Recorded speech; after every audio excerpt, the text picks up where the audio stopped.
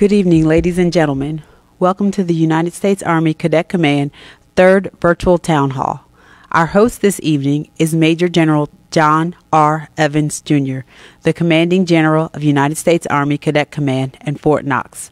Today, he is joined by the Command Sergeant Major of United States Army Recruiting Command, Sergeant, Command Sergeant Major Tabitha Gavia. The subject of this evening's town hall is an open discussion on race. At this point, we will have opening remarks from the commander, Major General Evans. Thanks, uh, thanks, Colonel Downs. I appreciate it. Uh, first, let me just say thanks for tuning in tonight. I'm not sure how many folks are going to have viewing out there. We've blown this up on social media quite a bit. We've tried to get the word out, but I'm, I'm hopeful and, and I'm encouraged by the fact that we've got cadre and cadets that are interested in having this discussion. And so uh, I look forward to having it with you. And I want to recognize uh, and thank Command Sergeant Major Tabitha Gavia for joining me tonight. As most of you know, Cadet Command is without a nominative Command Sergeant Major right now. So I kind of put her on the spot last week and said, "Hey, would you be would you be willing to do this with me?" And she jumped right on it and said, "Yeah." And I think she will bring, uh, obviously, a very interesting perspective to this. So thank you, Sergeant Major, for joining us tonight. So I've got some comments here I'm going to kind of read from, um, but, but, I wanted to share a few things with you. So our, our purpose for gathering tonight is, uh, is designed to be a dialogue. Uh, this is not about diversity, but diversity is important. It plays a role in how we address the issue of racism and provides us a tool to broaden the dialogue and seek solutions. Our Army is wonderfully diverse, and we need to continue to celebrate and showcase that. But tonight, our dialogue will focus on a harder topic. Army senior leaders are encouraging us to engage in conversation. Uh, the elephant in the room is racism, uh, racial iniquity, and racial injustice. And we have to be able to address it responsibly, respectfully, and with open minds. We need to accept that it is an emotional issue for most people. But we can also recognize that this emotional, this emotion properly channeled can lead to passionate, productive discussions. And I hope that's what we have here tonight. Now, I don't consider racism to be a political issue. It's a human rights issue, a human rights issue. It's a human dignity issue. But we need to understand that politics surround it and in many, in many of the ideas, policies, and constructs in our society that may contribute to systemic racism all have political nuances. So, with this acknowledgement, we will do our best to avoid political discussions tonight and try to focus on personal and institutional responsibilities with regards to racism. Additionally, while I think your personal stories will be a powerful part of the dialogue tonight, um, if you are currently experiencing some type of discrimination, I encourage you to speak to your chain of command or your EO representative or get with our team in direct communication after this forum so that we can investigate your complaint and seek remediation. This forum will not be the best way to discuss those specific issues, but we do need to address that. Now, we really have three goals tonight, and I would ask for you to help us with these as we engage in dialogue. First, listen. This is a safe space, and first and foremost, we want to listen to what you have to say and what is on your mind. We'll be responding to questions and comments, but we freely admit that we will not solve the Army or our nation's problems tonight. This is a first step, creating dialogue and listening to everyone. Second, we want to start the conversation. We'll do our best here to provide an acceptable method for how subordinate leaders at echelon can engage in similar forums at smaller scale to better understand the members of your squad, your team, your ROTC program, or your unit. Although I have personally scripted much of my opening statement, we've not scripted answers to any of the questions that you provided bef us before, and we will be honest and candid as we receive your questions and comments tonight on the online forum. And finally, we've got to be open and honest. I firmly believe that the reason why this is a hard discussion isn't because racism is ugly, because we know it is. I believe the reason that this is a hard discussion is because all of us, regardless of the color of our skin, bring our own prejudices and biases with us when we walk into the room.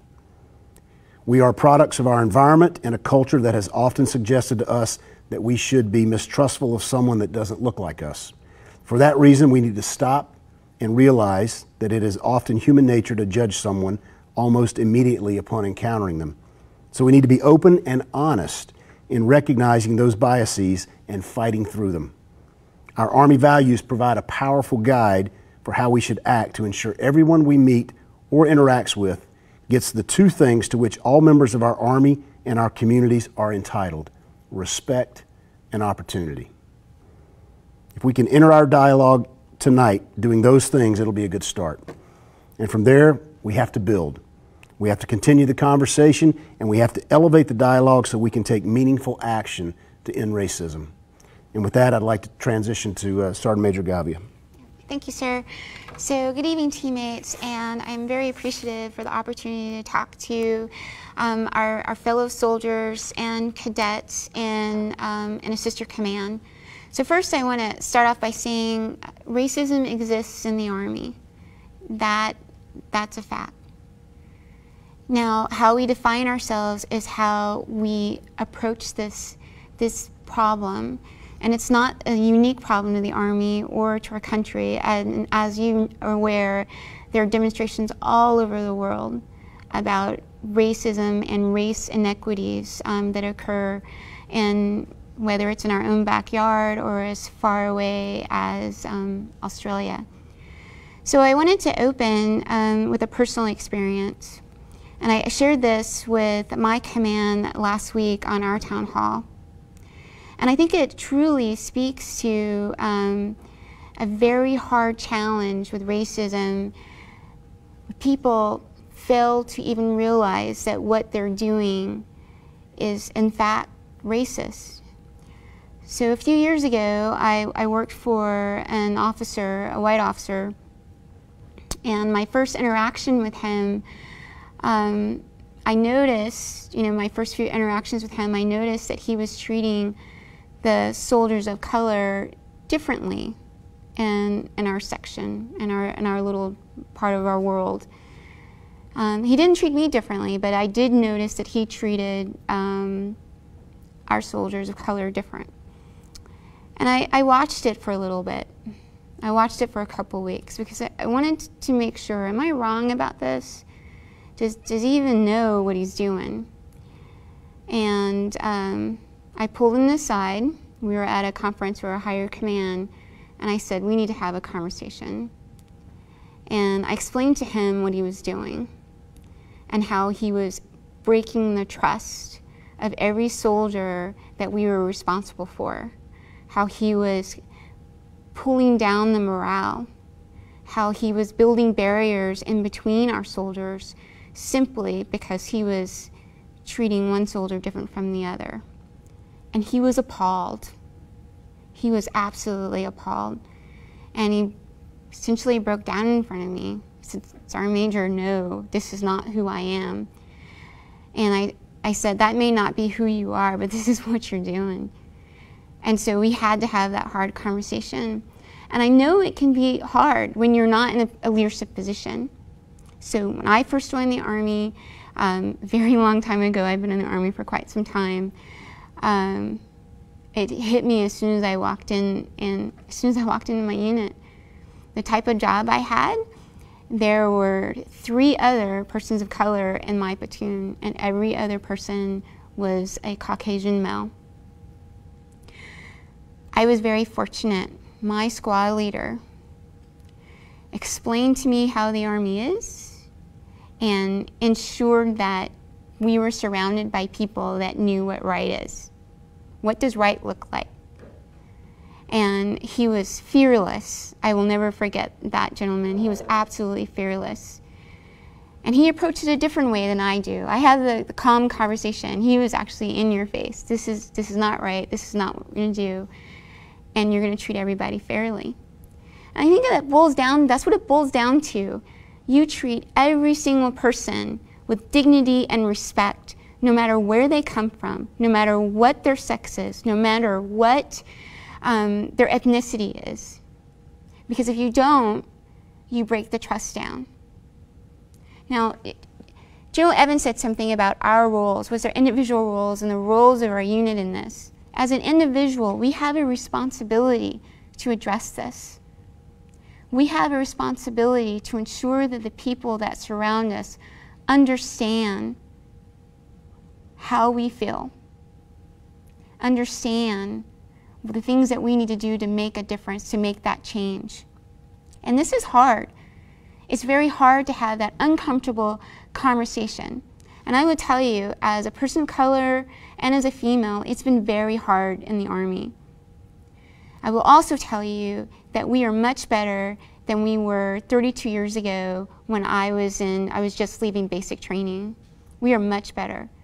But we, we do have a ways to go. We do. And I think we can get there together. The Army's number one priority, Chief of Staff, Secretary of the Army, people first. And you can clearly see that in the Army's people strategy. And if you haven't read it, I ask that each and every one of you take the time to read the Army's people strategy, particularly line of effort one, which is acquire talent, which is what we do. And if you're a cadet, is what you live. So please take the time to read that. General Evans also spoke about uh, this is my squad. This is my squad. We treat everyone, again, with dignity and respect. And we have those hard conversations, and not just with people that look like us. You have to have the hard conversations with people that look differently from you. Because what you're viewing as racism, and we know what the AR 600 20, Army Command's policy, what it says racism is, we all know that definition. But how you interpret that is maybe completely different than how I interpret it. The other way that you address this is through mentorship you should have peer mentors, senior mentors, and junior mentors to have this conversation with. You surround yourself with good people to have this conversation with, this hard conversation. And then when you find that it exists, then as a leader in the United States Army, you have to do something about it. You have to address it. You have to tackle this. Because by ignoring it, it does not go away. It festers it gets under your skin. And it's what makes soldiers cry themselves to sleep at night. It's what makes soldiers leave the army. It's what makes, in, in some cases, leads to misconduct. So we have to have these very hard uh, conversations. I wanted to share with you, uh, I am a nominative sergeant major. General Evans mentioned that. So what, not, what that means is that I work for a general officer. And I, I've been in positions like this for the last five years, so I'm very familiar with uh, how the system works. So this week was the annual nominative uh, training conference with the SMA. And today we had the opportunity to listen to the Secretary of the Army and the Chief of Staff of the Army talk exactly about this, about owning your squad. So this is my squad as a metaphor. We're not talking about you know, E1, just E1s and E5s led by a staff sergeant. We're talking about everyone. So your squad is your classroom. Your squad is staff call. Your squad is your battalion, headquarters. That's what we're talking about. This is your squad. And each and every leader and follower, we have to wrap our arms around each other and have these hard conversations. We will treat everybody with dignity and respect. We cannot break down the trust of the people that we lead. We cannot lose the trust of the people that we serve beside. So, for those folks that are in denial and you say, there's nothing wrong, there is something wrong. We are all not green. We are many different colors, many different races, and each and every one of us needs to be treated with dignity and respect, and our background needs to be honored. And if there's one message that you take away from me today, I want you to think long and hard about that mentorship. And you can find that outside your command, you can find that inside your command. It's a senior person, it may even be a junior person, and it's definitely a peer. So you can have those hard conversations. So while we're speaking today in this format, the real breakthrough happens when it's two, three, four people having that discussion about what we would like our army to look like, how we would like our army to be, where we see our challenges with our army. What can we do better? As an individual, what can you do better? What can you do from your lens to make this better? And so I'm calling each and every one of you, as well as the people in our command. We need to come together, bond together, and tackle this very real problem facing us. And so, with that, sir, again, thank you for having me today. And questions? Thanks, Sergeant Major. Great. Okay, go ahead, Nicole. Our format tonight will begin with questions submitted in advance of the town hall. Similar questions may be grouped together for brevity purposes. We will answer one question at a time and then take questions submitted live online. We will continue answering questions until our allotted time is complete. So, sir, the first question is for you. I was in basic camp not too long ago, and I was very unhappy when we were being briefed, and the drill sergeants only spoke about the good things in America. I would ask the question why can't drill sergeants and other teachers slash leaders also talk about the bad truth behind our country and its leaders? Yeah, I, I, think that's a great question. I think that's something we need to focus on a little bit. So, you know, part of what we try to do in uh, in any type of initial entry training is we try to motivate the team, whether that's a young soldier coming to basic uh, training or whether it's a cadet coming to basic camp or advanced camp. And so I think sometimes we get a little caught up in uh, talking about the good and, and really not focusing on some of the some of the warts that are out there for us. Uh, and I think as we take a look at you know leadership in particular, um, we have to acknowledge that even some of our most revered leaders had flaws. Uh, certainly, as you look back to the founding fathers, uh, because I know that was part of uh, the, the, question that uh, Colonel Downs didn't ask. You know, you've got people there that, that were slave owners. You've got people there that accepted institutional racism as a way of life. Uh, and uh, I think we've got to acknowledge that, hey, even the best of our leaders or the ones that we are revering have got problems and got issues, and we need to bring that out there and make people feel comfortable in that dialogue uh, and not feel awkward about it because uh, we don't get better if we don't discuss the things that are wrong. So, you know, that's what I would offer, and I'll, I'll ask the Sergeant Major if she's got something to add there.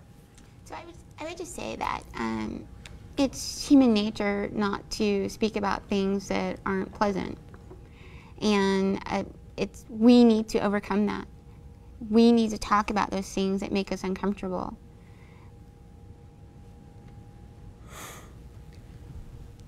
Sir, this next question is also for you. Can minority cadets who are not contracted be involved in the peaceful protest?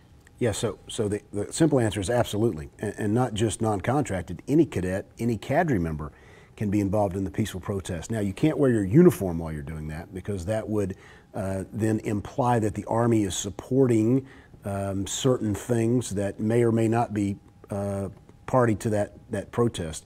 I think we've got to encourage people to get out and be heard. And I know we've had a number of cadets that have reached out to me or to the staff that have talked about their experience in doing that again, what you do want to try to stay away from is when sometimes these peaceful protests get a little emotional and we start to see things expand a little bit uh, and uh, we see unfortunate situations with violence. That's something you don't want to be involved with uh, because that could lead to some type of disciplinary action for us, for any of our active duty soldiers. But peaceful protests, uh, that's a First Amendment right that you've got, and I would encourage you to, uh, to exercise it. Uh, Toby, I've got my JAG here. You got anything to add to that? No, sir. No, I, I agree 100%. You, we encourage the protest. We encourage participation in it. We encourage you to, number one, as General Evans said, not be in your uniform, not to draw back or tie in your affiliation with the Army with the protest so that it's confused in people's minds as to whether the Army is officially supporting this act. And then again, as you indicated, sir, not to, not to break the law, not to do anything illegal that would then um, run afoul not of First Amendment principles, but maybe legal issues that we may have to take action on as a result. But if, as long as you comply with those, then it is, it is a wonderful thing for you to go out and be heard and to, and to participate in those types of things.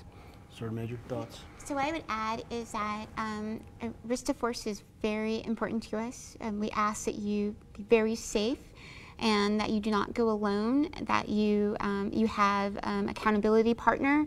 So as you're participating in this, that um, your safety is definitely our, our number one priority. So be safe there and ensure that other folks, um, your mentors perhaps or family members know that you're, you're, you're going to do this and take somebody with you. Great point, great point. So the next question says, Is there any initiative to rename Army garrisons that are named after Confederate members? I understand the strategy of naming installations after Confederate members in an effort to reconcile the country after the Civil War. However, many Americans, including myself, think that naming Army installations after former Confederate members marginalizes the despicable practice of slavery and the institutional racism that followed. I believe renaming these Army these Army establishments will send a message as an institution that we believe these racist practices are not merely a time frame in American history, but a black stain in our nation's history that in no way meets the high standards of excellence we pursue in today's Army. Yeah, so I can tell you, uh, and, I'll, and I'll give the Sergeant Major an opportunity to opine on this as well. I can tell you that I've had personal conversations with the senior most generals in our Army about this very thing uh, advocating for us to take uh, an opportunity to look at this and figure out what we can do. I can tell you that uh, Army senior leaders uh, have, have been discussing this topic actively. Um, I will tell you, it probably doesn't rest exclusively with the Army to have autonomy over making that decision. So there are other leaders, senior leaders, that will be involved in that decision. Uh, and right now, I think there are members of Congress that are dealing with this as well. So the answer is yes, there's an active dialogue about this that's been re energized. It's not the first time it's come up, but it's been re energized of late. Uh, and those conversations are going on, but I can't tell you what the outcome of that's going to be, and I can't give you a timeline for when that might occur. And, Sir Major? So, sir, absolutely. So, uh, today, uh, as we were having discussions with the Army senior leaders, uh, that question was brought up and there's definitely under review. But as General Evans stated, this is not, you know, only the Army's decision. So, so we're definitely, the Army senior leaders are definitely reviewing it. And do you believe that this is a source of pain that, that, that we need to take a look at and perhaps make changes?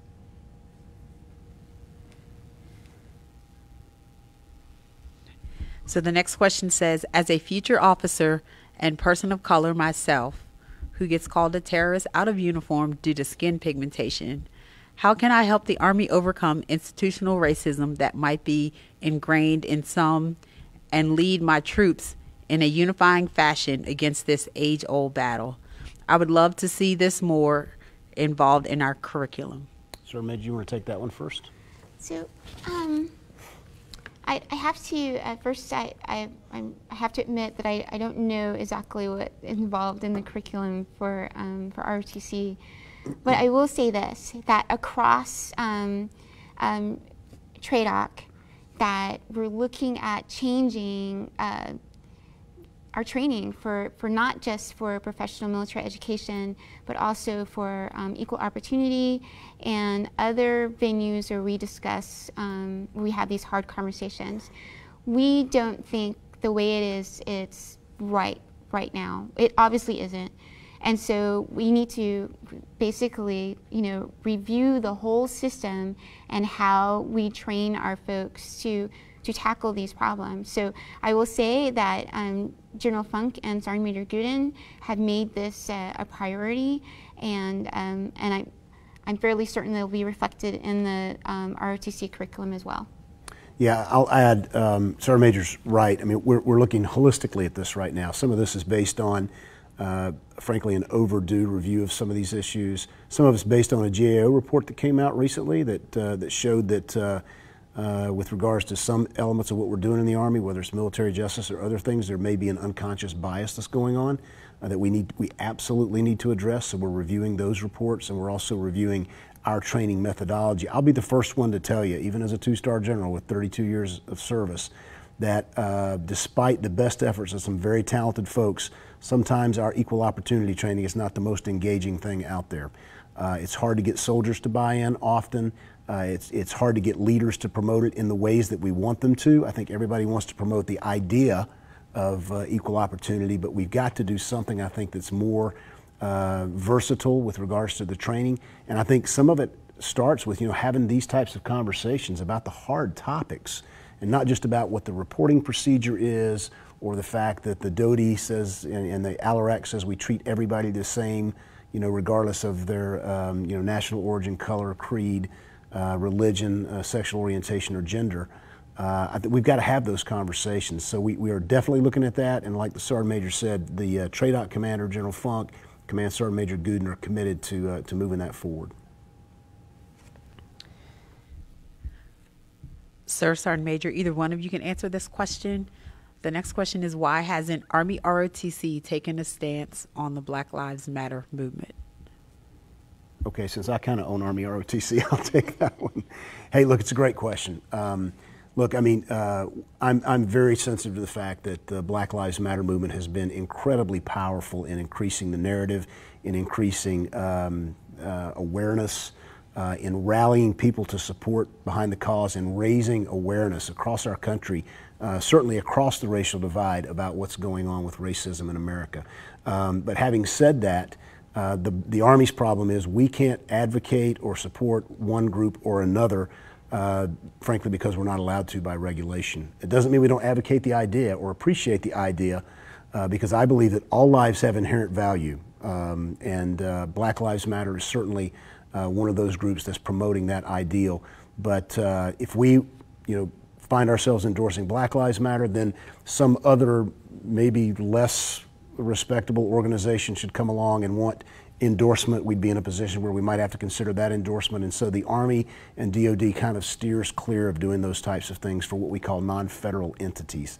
Uh, and I believe they're a 501c3 nonprofit, which would make them a non-federal entity. So, so that's why we've not done that. I'm glad to see the CG take the lead on this conversation.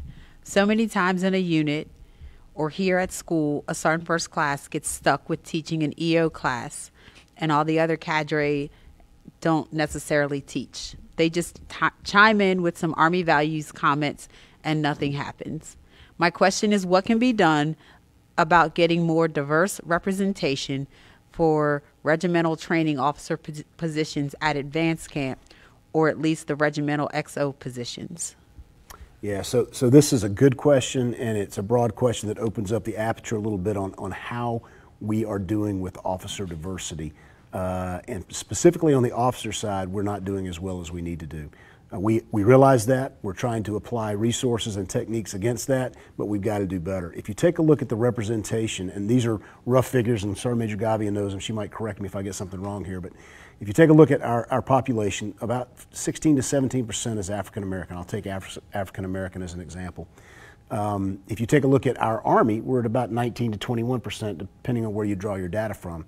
So that would lead you to believe, hey, we're pretty well represented. You know, as a minority group in the Army, we are overrepresented against the population. The, the problem is um, it's a little off balance. In the officer corps, we are closer to uh, somewhere around 11 to 12 percent.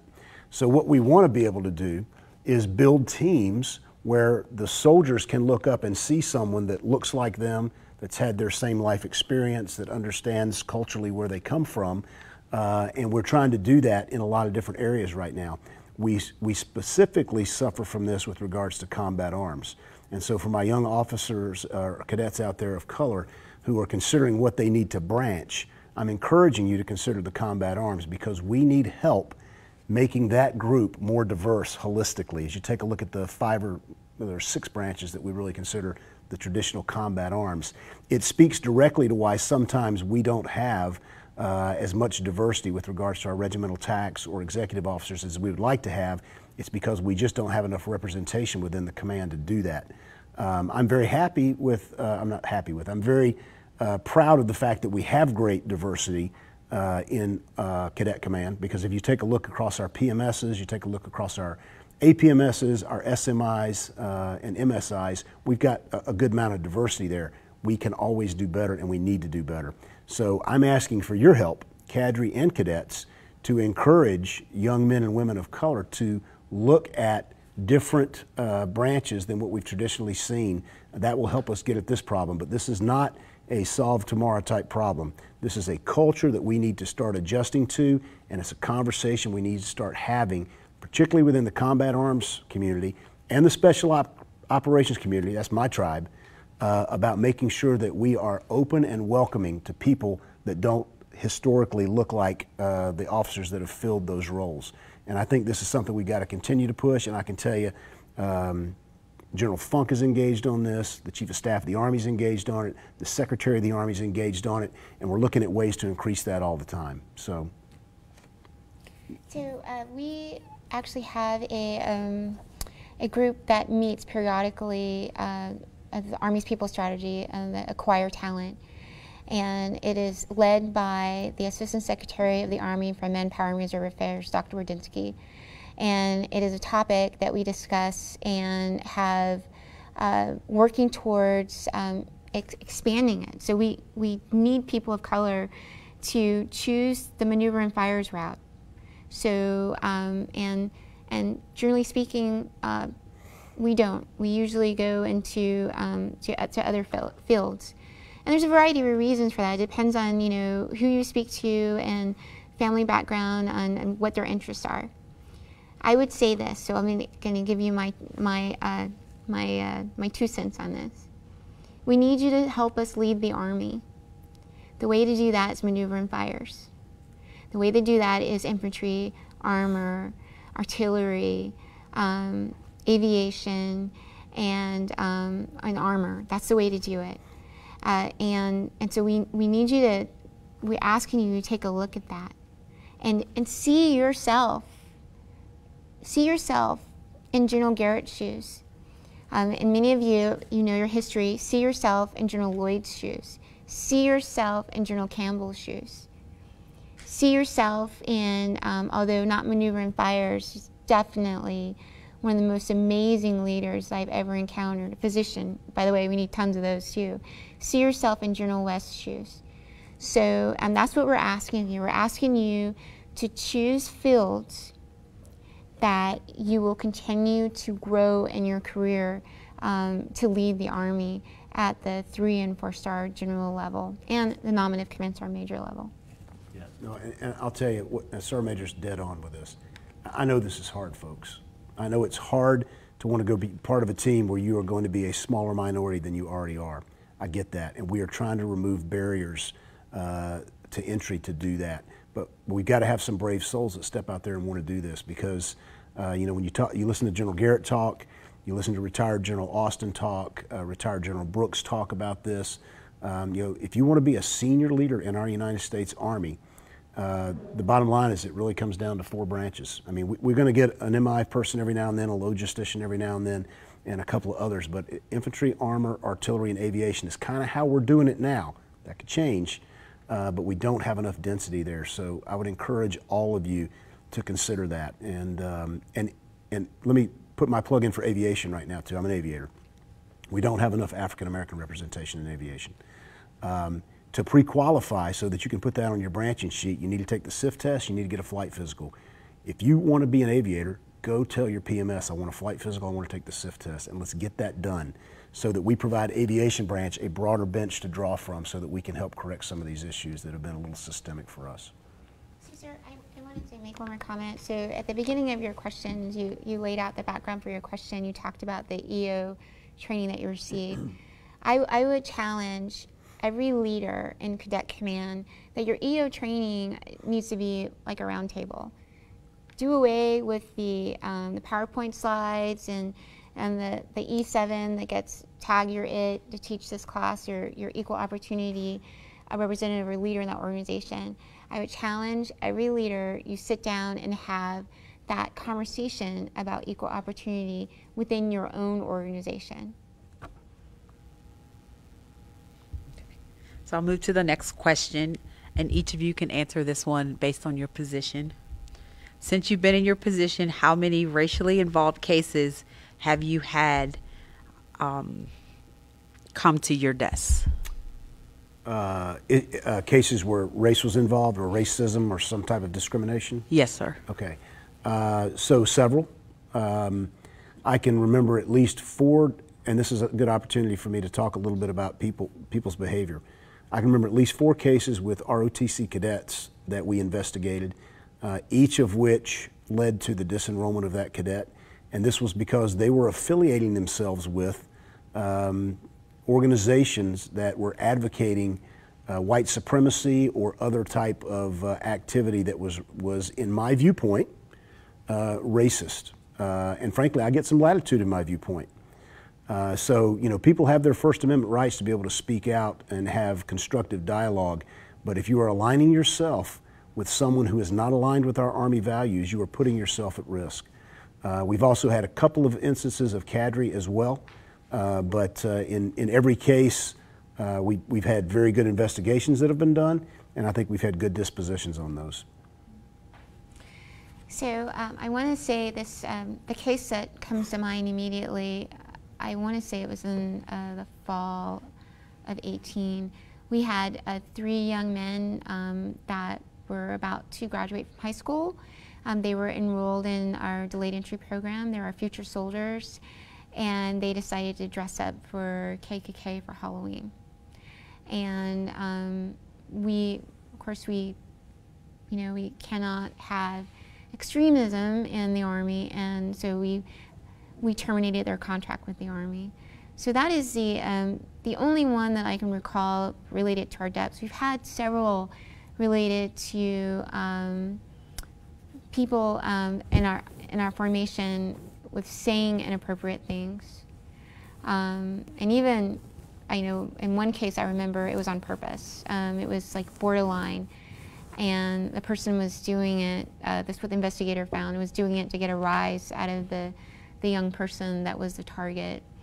So we handle it appropriately. There's no room for that. Um, if you cannot treat everyone with dignity and respect, and if you um, purposely go about to harm other folks, then there's no room for you in the Army. And I, I would just say that we, we handle it appropriately.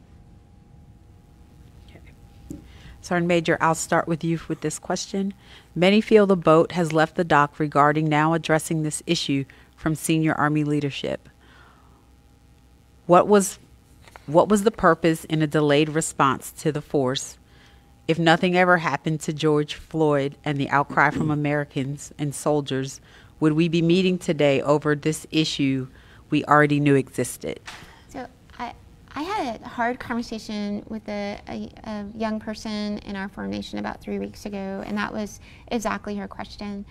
And I explained to her that uh, we are a department, we are a, a, subordinate department to the Department of Defense.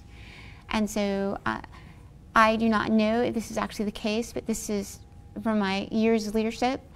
I, I believe that our response came because we were waiting on the Department of Defense's response. That's what I believe. I could be completely wrong about that, but I mean, it it's works and this is how the military works, you know. So, the you know General Evans is not going to get out ahead of General Funk. Um, the brigade commander is not going to get ahead of General General Evans, and and so that that's what I believe. Now, about um, Mr. Floyd, do I think that we would be having this conversation if that hadn't occurred?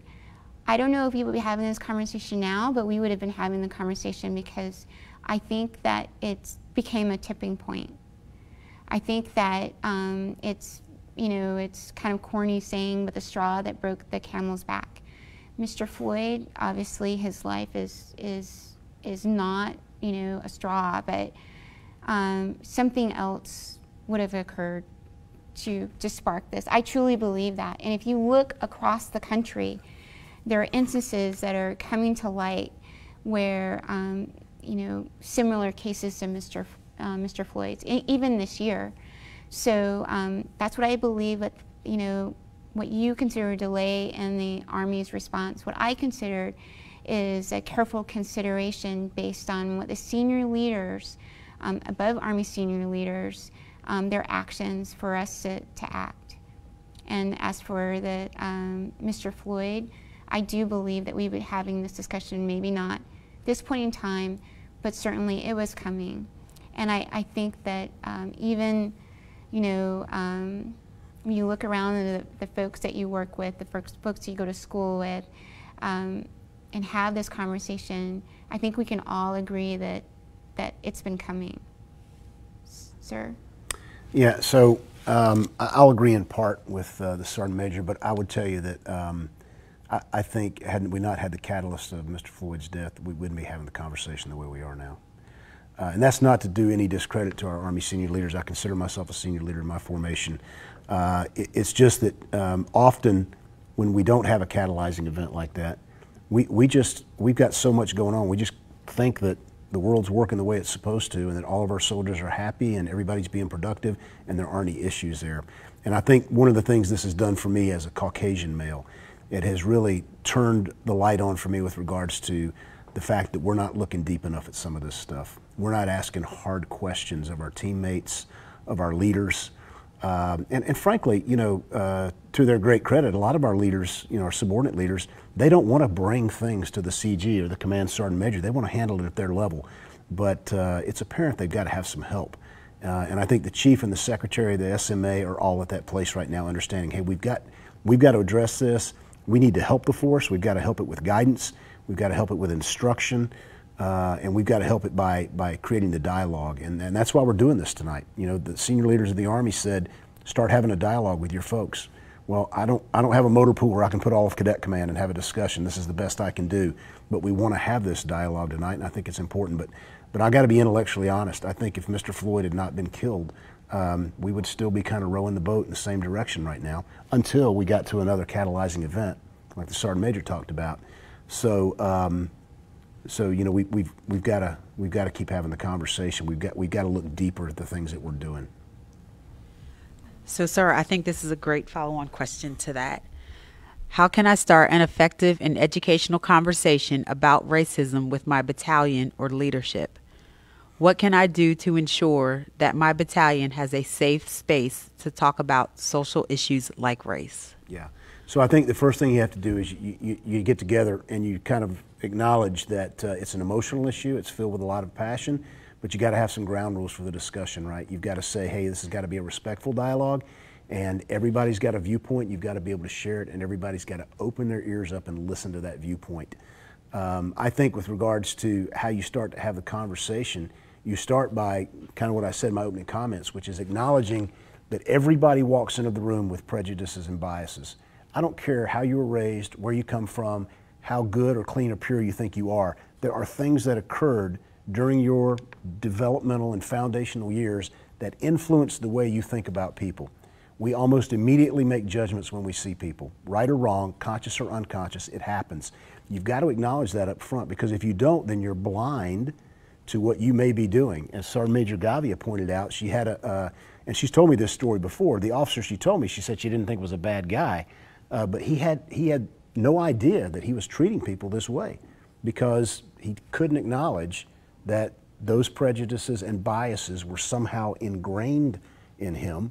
Uh, they're ingrained in all of us, and we have to do it. I have to check myself, um, you know, to, to and step back and look at the facts and evaluate people and comments and commentary and content based on, you know, its merits and not based on an arbitrary, you know, uh, skin color, gender, sexual orientation, or anything else. So I think you have to. That's how you have to start the conversation. Lay out some ground rules to say, hey, we're going to have this conversation. It's going to be tough. It might be emotional and passionate, but remember to be respectful to everybody. And then let's share and let's listen. I, I actually have a, a recommendation. Uh, I, I, think our, our third brigade um, commands our major uh, Crowfoot and uh, Colonel uh, Lopez did this very well. So um, they too were struggling with how do we have this conversation. So they built a forum, and then they asked for for would you please you know participate? We would like you to participate. And what are your questions? And to start it off. So what are your questions even before um, we open the forum up? And they had soldiers from um, across their command um, pour their hearts out. So I agree with everything that General Evans said, but I would also say ask your, ask your teammates uh, what their questions are. Ask them what, what they're feeling. Ask them if they're in pain. Ask them about their personal experiences because you, you just don't know. You don't know what what I experienced today. You you may assume that my life is amazing because I smile all the time, but you just don't know. So I think that's the start to the conversation with your teammates. Okay. Thank you. So we're going to move to some questions from online live. How are we encouraging more women, especially African American women, retiring from the Army to become junior ROTC instructors? Sir, this is for you. Yeah, so um, I'll be honest, I'm not sure that we've got a targeted approach to uh, women and African American women on that, um, and it's probably something we need to look at uh, because I think what we find is I look at the junior ROTC instructional pool, it tends to be a lot of white males, uh, not exclusively, it tends to be a lot of males. Um, it's very difficult sometimes to, uh, to uh, maybe not to get women, maybe we have been targeting women. Um, we're working with SFL TAP uh, to broaden our reach across the retiree pool. Currently, to be a junior ROTC instructor, you have to be a, a, a retiree from the active force. We're working to change some of that to build some latitude with the new um, blended retirement system and the ability to look at component two and three, the Guard and Reserve. Uh, but I think that's an area that we've we've got some work to do, um, and uh, and I think the comment, and we'll take that on and see if we can try to orient that on certain specific individuals. We've got so many females in um, uh, junior ROTC, I think that would be very useful. Sir, Sergeant Major, lately there have been a rise in distrust towards the police and military personnel. What guidance will there be for school cadre and cadets as far as conducting training at schools and communities when the people there may take issue with our presence? Yeah, so I'll, I'll jump on that one first. Um, so we, we talk about this quite a bit, you know, the presence of even um, rubber ducks, um, you know, false weapons and things like that could be a very inciting experience uh, on a college campus based on school shootings and things like that. And we, and we, we have that dialogue often. Uh, now this adds a new component to it, a new complexity, obviously, with uh, with the fact that the police um, are, are, losing some credibility with the American people based on these recent incidents. Uh, and we are being equated oftentimes because of our authority position to law enforcement, although we clearly are not, and we're governed by our oath to the Constitution. Uh, for a layperson, that, that may not matter and they may not be able to draw that distinction.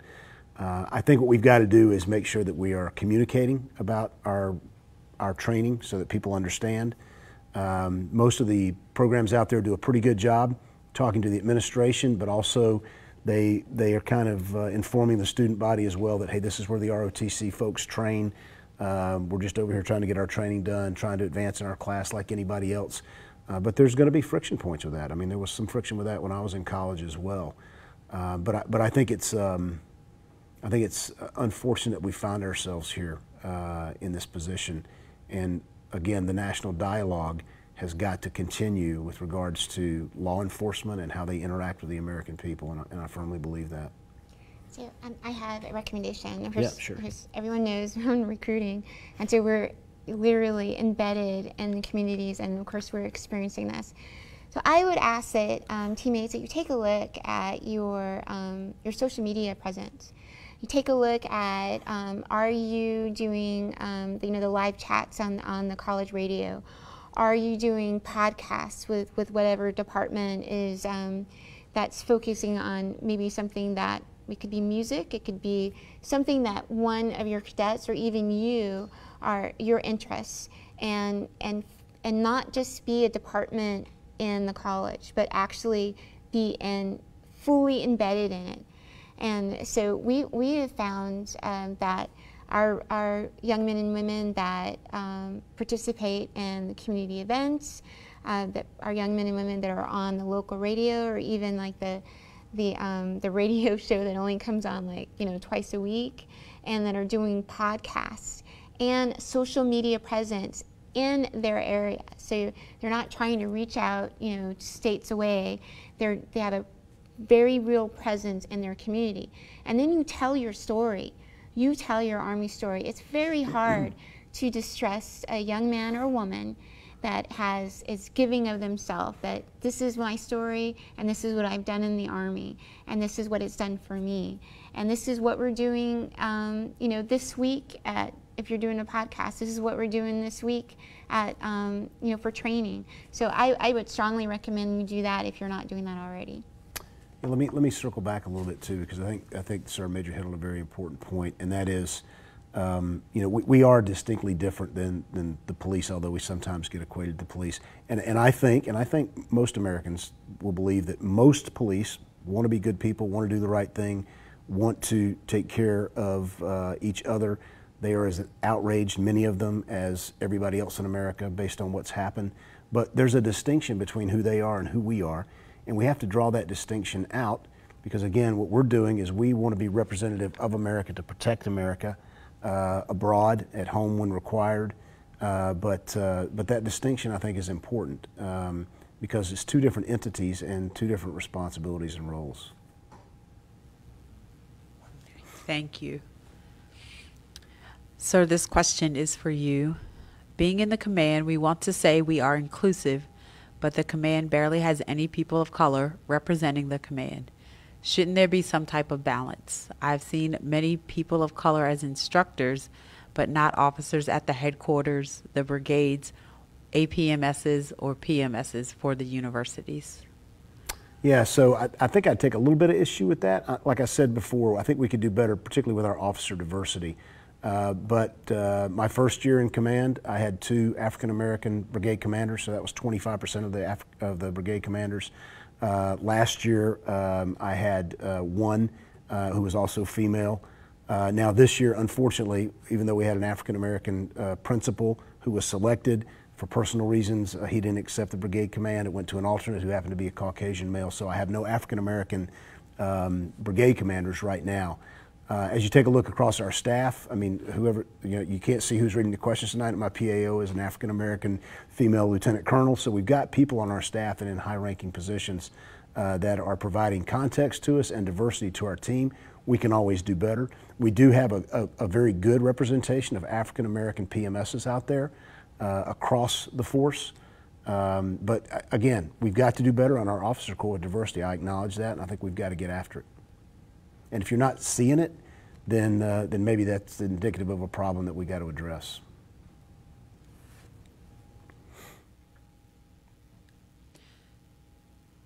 Sergeant Major, um, you can answer this question, and sir, I would also ask you to follow up Okay.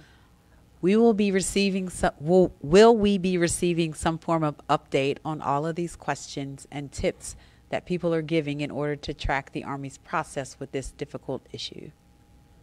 Also, um, what I would recommend is we do this at USAREC.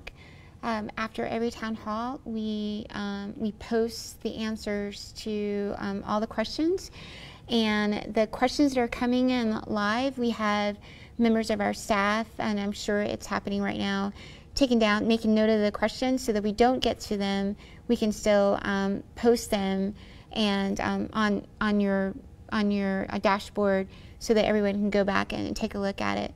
Now, I know that some of the questions are um, intensely personal, and those questions um, we may be uh, or a member of the staff may be calling you directly to answer your very personal uh, question. I hope, I hope that answers your question. Yeah, so I think what I'd add there is, uh, and I think what Sergeant Major said is one part of this, right? I, I started the discussion night saying what we want to do is start the dialogue. We, we don't want it to end with dialogue, and frankly, we don't want it to end with just the answers to questions because that's not moving the ball forward. So I think one of the things we're doing right now, the Army senior leaders are working very diligently on kind of formulating a plan for how the Army can attack this um, effectively. Uh, and it's more than just town halls and open forums. They want to be able to put real, um, real change behind this so that we can address this in the Army. Uh, I'd love to say once and for all, but I think this is one of those things you have to continue to attack. You just, you know, you have to continue to press the attack.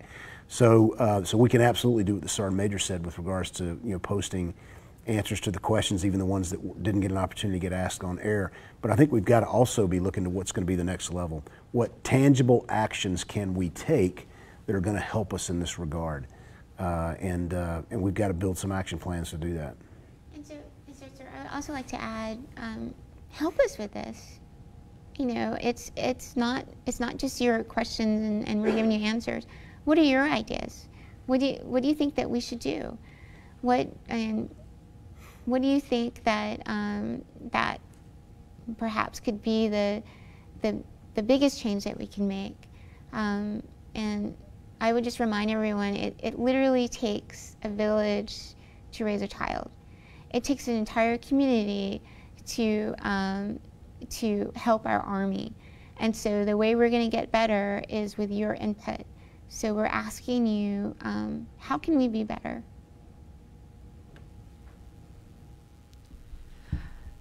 So we have time for one question, one last question, and then we'll move to um, closing statements.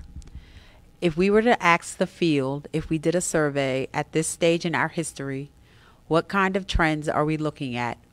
What do you feel are the top three issues directly? And I'll start with you, sir, and then. If, if we were to look at the field, ask that one more time, I'm sorry. If we were to ask the field, i.e., doing a survey at this stage in our history, what kind of trends are we looking at? What do you feel would be the top three issues directly? Um, current trends for the Army, I guess, would be the question then? What, what, what three things? That's what I would assume. It's not Yeah. stated. in- I'm, I'm struggling a little bit, but I think um, so. I think I think one of the trends is, um, and this is right down the Sergeant Major's lane, is that you know we we rely on the American people to to field our army. Okay, one of the very unique things about uh, our army is that it is an all volunteer force since 1972. So we have got to continue to engage people across the spectrum uh, of our country to be part of who we are so that we look like them and that we reflect not just our Army values, but also the, the values that America holds dear. And so, right now, a trend is hey, it is hard to get people to make that commitment for a number of different reasons.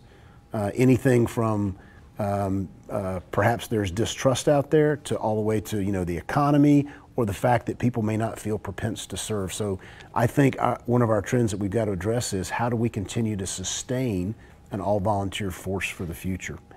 Um, I think certainly one of the trends right now is that we're continuing to have these dialogues about uh, inequality, whether it's in the system that provides opportunity to people or the system that, that demonstrates whether or not we were equitable in that opportunity by showing us the outcomes. Uh, and I think we've got to look hard at that. So I think that's a, a trend as well.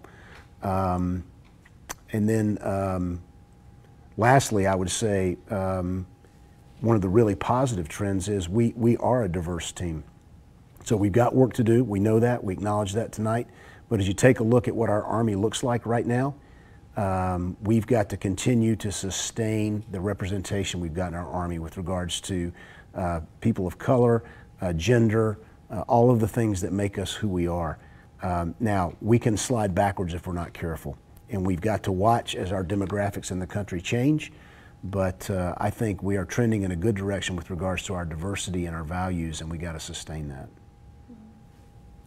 So, uh, teammates, we need um, between officers' accessions and enlisted accessions, we need about 150,000 people a year, and um, and that is not that is not counting the folks that are in the army that we need to do other things, become warrant officers, go special um, special forces, um, and so. Um, obtaining the talent is definitely a, a, challenge for us, and as General Evans stated, um, you know, we, we need to involve our communities in this and to understand the importance of having a ready army.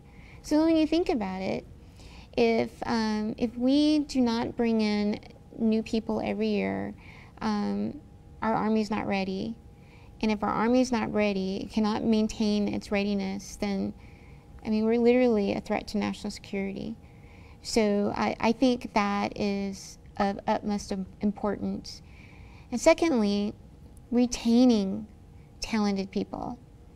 And I, I think that is, um, that is something that we have been working on and wrapping our arms, or trying to wrap our head around for several years now, and working towards um, and retaining, you know, our talent. And so there are talents not leaving to go um, to go make another organization better. And you know whether that's the um, battalion commander's assessment, whether that's um, other assessments that the Army senior leaders are, are thinking about Im implementing, and whether it's the marketplace where you get to choose where um, you, the, the unit and you get to kind of figure out um, where's the best place for you to go. Um, so we do have some work ahead of us, but I, I do think that um, acquiring talent and retaining talent, um, and as well as having these difficult conversations in these challenging times, whether it's COVID or the, um, the challenges that we clearly have with racism. Um, I believe those are the topics that would be trending. Thank you. Ladies and gentlemen, we will now have closing comments from our host. Sergeant Major. Well, teammates, uh, thank you so much for um, inviting me. I, I, truly appreciate it. Uh, I, I, just want to have a couple things and um, not to re repeat myself too much, but uh, please remember, remember about mentorship. Uh, you need to have these conversations with um, your mentors, and you need to have mentors that look like other people too, not just like you. So you can have broaden that that conversation. Um, junior mentors, peer mentors, and senior mentors. And then I want to say something that um, kind of um, quote a little bit what the chief of staff had said today to us after we were speaking about um, this is my squad and that we're all teammates together treating everyone with dignity and respect. We are going to um, come out of this crisis stronger, better, and even more importantly, more considerate of others. And at the, at, at the end of it all, can we really call ourselves this is this is me not him anymore but can we really call ourselves teammates if we're not treating everybody with dignity and respect? So i ask that you um, engage your mentors. If you don't have any you need to get mentors and um, have that dialogue have that hard conversation with with all your teammates. Sir Thanks, Sergeant Major. And, and once again, let me just thank you for being here tonight. Um, you, you, did exactly what I hoped you would do, and that it was add depth and uh, and different perspective and diversity to the dialogue, and I greatly appreciate it. Um, so let me just end uh, the way I started. I talked about the fact that we were really trying to do three things tonight. The first was was to listen, um, and we've heard your comments. But when I said we want to listen, it wasn't just about the two of us up here listening to what you have to say. It's about all of you listening to each other uh, because I think that's essential if we're going to move the ball forward, if we're going to have substantive discussions about this. You've got to listen to each other respectfully and responsibly. The second thing I said we wanted to do was start a conversation, and, and by virtue of the conversation that we started tonight, encourage people uh, down trace within the, my organization, certainly within the Sergeant Major's organization, um, you know, all the way down to that squad level. You know, this is your squad, and like she said, that's a metaphor. It's your ROTC classroom, your program, your cadre. That's your squad. And I think you need to have this conversation with your squad. Uh, so we're trying to start that conversation. And lastly, I ask us to be open and honest. And so, in that spirit, I'm going to say something here that uh, we didn't get to tonight in the questions, but I think it bears saying. So, I'm going to say this as the white guy, okay? Uh, privilege. So, uh, I used to hear about white privilege and privilege and and frankly, I didn't buy it. I didn't get it. I didn't understand it. Uh, I thought it had something to do with where you come from, how much money you made, how affluent your parents were. And I knew that I worked hard to get where I was. My parents were good people and they worked hard, both of them, but they came from mill people. That's who their parents were blue collar, hard working textile people in North Carolina. So I didn't come with any privilege. I didn't ask for any privilege and I refused to accept any privilege. And then it become, and then it dawned on me that it's really not about that. It's not about affluence. It's not about your education. It's not about how much money you make. It's about the fact that you are considered differently from, by our society than people of color. And so every time that I walk into a hotel, a restaurant, a department store, there's nobody giving me a second look. There's nobody that's going to check to make sure I'm not picking something up and putting it in my pocket or hanging out by the cash register. But a man my age, similarly dressed, clean cut, of, of African American descent, of color can walk in and he will not get that same uh, respect. So I'm encouraging my white officers and NCOs out there to discuss amongst yourselves the concept of privilege so that you understand what it's like for people of color when they are trying to deal with these issues as a minority in our society. So I'll, I'll end on that note. Uh, thanks for the opportunity to say that, and uh, thank you to all the folks that tuned in tonight those who've submitted questions on the various platforms that we asked for. Uh, this is the start of the dialogue. We want to continue it, but I greatly appreciate the opportunity to talk to you tonight. So everyone have a good night. Leadership excellence.